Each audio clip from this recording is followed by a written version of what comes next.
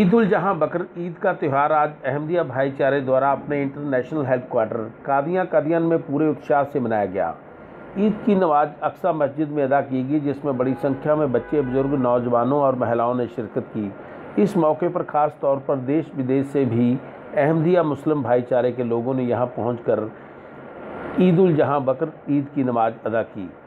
बटाला से Rishpal Singh, Azad TV news. कहते हज़रत मोहम्मद मुस्तफ़ा बाकी मुसलमानों ने हिदायत की थी कि तुम भी खुदा के शुकराने वजों दो नफल पढ़िया करो, दो दो रकत नमाज़ पढ़िया करो और खुशियाँ मनाया करो।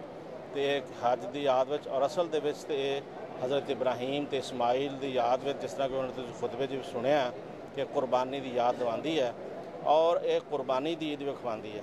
कुरबानी की है?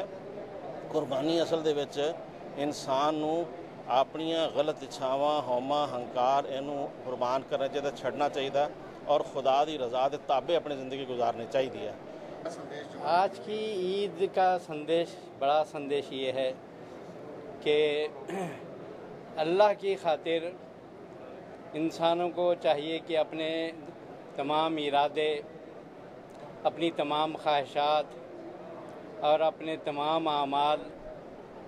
अपना सब कुछ तन मन धन सब कुछ उसकी रज़ा के लिए कुर्बान कर